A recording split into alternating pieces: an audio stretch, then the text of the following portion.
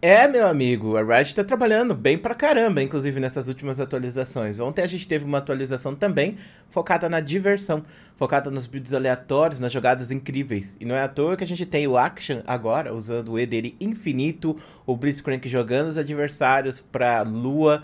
E aí a gente se pergunta, será que finalmente a Riot encontrou o seu caminho? Essa é a questão do acerto crítico de hoje. Bom, Acerto crítico você já sabe, né? Aquele vídeo de opinião raiz, deixa seu gostei, não esquece de se inscrever no canal do Laboratório. Valeu aí aos membros que têm apoiado financeiramente esse humilde canalzinho a continuar existindo. E nos últimos meses a gente tem visto uma guinada aí das atualizações de League of Legends.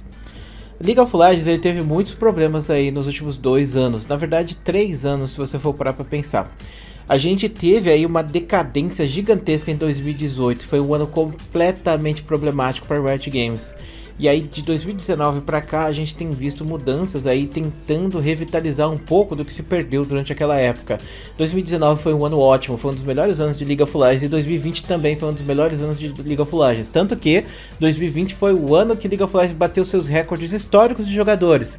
Mas é entendível que por conta da pandemia, né, todo mundo em casa, o pessoal joga mais, o pessoal vai ter mais tempo para fazer coisas e inclusive vai até procurar fazer coisas através da internet, jogando outras coisas e não foi só o LoL que recebeu aí muito público não. Foi o YouTube, foi tudo. Então, 2020 foi um ano muito bom pro LoL nesse aspecto, mas os funcionários da Riot não se ficaram nem um pouco felizes em 2020. Todo mundo sofreu muito, a gente que produz pro YouTube também sofreu muito nesse ano, e você que tá do outro lado aí, que precisava trabalhar todo dia, coisa do tipo, teve que ficar em casa, enfim, foi uma desgraça, né? Graças a Deus a gente já passou por tudo isso, já tá acabando, né? Agora a gente tá revitalizando tudo. Só que é aquilo, né? 2020 foi um ano péssimo e 2021 foi um ano com pouca coisa para jogos de videogame em geral. 2021 foi um dos piores anos da história dos jogos de videogame, não foi só do League of Legends não, porque todo mundo estava perdido nessa questão do home office ainda, ninguém sabia para onde ir, ninguém sabia como fazer.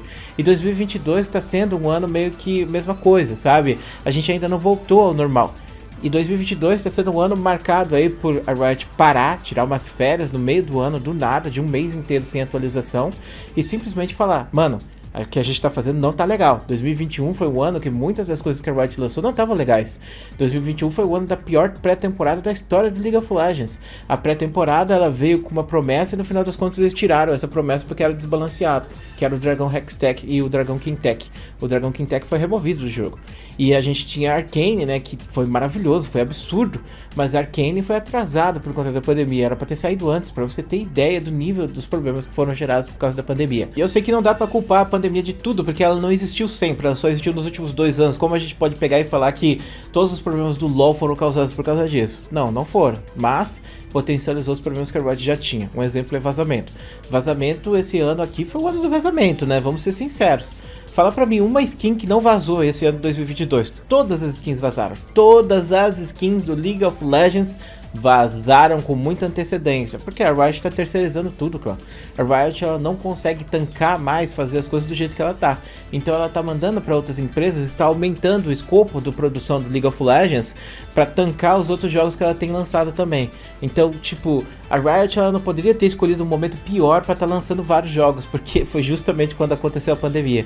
E aí agora tudo vaza porque tá na mão de terceiros e às vezes esses terceiros não são tão confiáveis e acabam postando antes da hora ou mandando para criadores de conteúdo e outras coisas mais. Bom, Vazamentos à parte, então por que, que o League of Legends agora está voltando aos seus trilhos? Obviamente porque agora a Riot contratou gente que estava precisando, né? Criou um novo estúdio gigantesco lá em Seattle, né? Colocou um estúdio com mais de mil pessoas para trabalhar e para dividir bem as funções, né? Ou seja, vai ter galera que vai cuidar do Wild Rift, do League of Legends, do Legends of Runeterra e do TFT e também do Valorant separadamente. Então vai ter mais conteúdo para esses jogos e com mais qualidade. A Riot ela sempre disse isso, né? Focamos em qualidade sempre, em primeiro lugar. E sendo bem sincero, por mais que a gente reclame do LoL e tal, League of Legends é um jogo free to play gratuito na faixa, zerinho. E é um jogo que oferece tanta coisa. Você olha para Arkane, você acha que aquilo não entrega qualidade? Você olha para as músicas que a Riot faz, você acha que não entrega qualidade?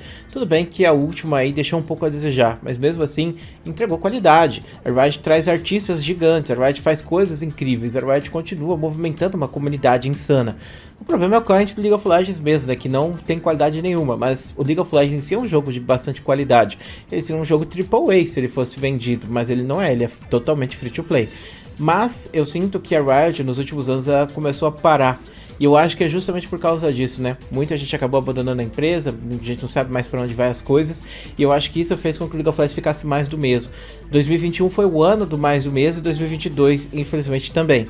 Mas, pelo menos agora, né, da metade para frente, a gente tá vendo a Riot mudando um pouco.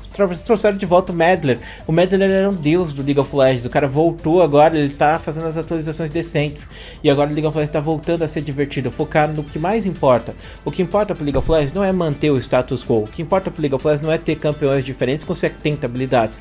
O que importa pro League of Legends não é ter skin toda semana. O que importa pro League of Legends é o público casual. É o público que se diverte jogando. É o público que joga com os amigos. É o público público que vive, que respira isso, que joga porque ama aquilo, porque por mais que passe estresse, ele se importa ao ponto de voltar no outro dia e jogar novamente. É essa pessoa que importa para League of Legends e parece que é essa pessoa que deixou de ser importante nos últimos anos. Mas agora parece que a gente está voltando a ser olhado pela Riot. Não é à toa que eu, por exemplo, tô com vontade de jogar LoL de novo. Olha só que coisa, hein? Eu jogo League of Legends esporadicamente. Eu jogo muito mais TFT. Porque eu sinto que o League of Legends ele perdeu toda essa essência de jogo divertido pro, pro TFT. O TFT ele é divertido, ele é interessante, ele tem coisas diferentes sempre. E ele foca principalmente na diversão do usuário e não na competição. League of Legends foca muito em competição. E isso acaba estragando um pouco da experiência da maior parte das pessoas. Porque nem todo mundo que pega League of Legends é do subnicho de competitivo. A pessoa pessoa não quer pegar e virar um pro player, jogar contra o faker ou chegar no desafiante. A pessoa quer sentar e jogar um pouco. A Riot lançou achievements para essas pessoas. A Riot lançou customizações de perfil para essas pessoas. A Riot lançou personagens, reworks e outras coisas mais para essas pessoas.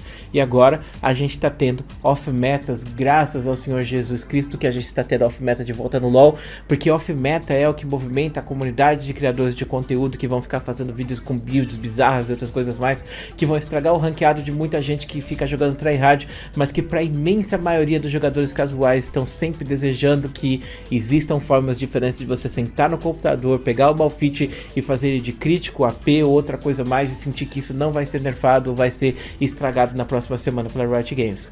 Agora a gente está um pouco voltando para essa daqui, mas eu ainda acho que é muito cedo para a gente pegar e falar isso como se fosse uma grande vitória. Mas é uma pequena vitória, sim, comparado ao que a gente tem visto no League of Legends nos últimos meses. A pré-temporada, por exemplo, parece bem legal. Vai ter pets na selva que vão ajudar você a fazer a selva, vai ficar mais fácil, então vai ficar menos pressão para jogadores casuais, jogadores de nível baixo, vai ter menos jungle diff e ao mesmo tempo você vai ter uma abertura de muitos outros campeões que vão poder ser jogados na selva. Você tem o retorno de itens antigos, porque vamos ser sinceros, esse rework dos itens foi o pior rework que já aconteceu na história do LoL. A ideia era fazer com que você tivesse mais dinamismo entre os builds, mas no final das contas terminou engessado exatamente da mesma maneira que era antigamente. Mas o pior ainda, tirando vários dos itens clássicos do League of Legends e fazendo com que o jogo ficasse mais lento e mais chato. Agora que vai voltar muitos desses itens antigos para dentro do jogo, talvez o jogo volte a ser como ele era antes de 2019, 2020. E quem sabe voltar para aquela ascensão que a gente estava seguindo. Eu poderia até reclamar e falar: League of Legends não vai voltar a ser bom enquanto eles não bufarem os ADCs. Mas nem tô me importando mais, porque do jeito que a gente foi viver esse League of Legends de 2020, 2021, 2022 eu acho que tá bom agora voltar um pouco para 2019, para como eram as coisas. E eu acho bom que a Riot olhe e veja que as coisas estão ruins, não tenha medo de dar dois passos para trás para tentar avançar um pouco mais para frente, né? Então eu tô bem confiante de que as coisas vão melhorar. Muito obrigado por assistir esse vídeo. Muito obrigado por ser essa pessoa maravilhosa. Um grande beijo, um grande abraço. A gente se vê depois.